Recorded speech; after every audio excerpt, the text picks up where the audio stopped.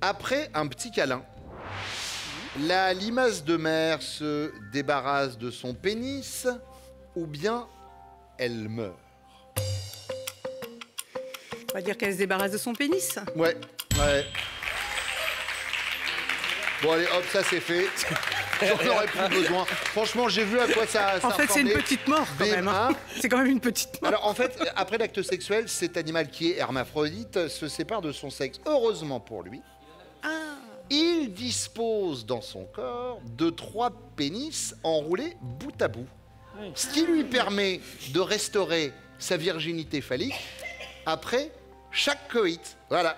Et il lui faut moins de 24 heures pour dérouler son pénis à une âge unique.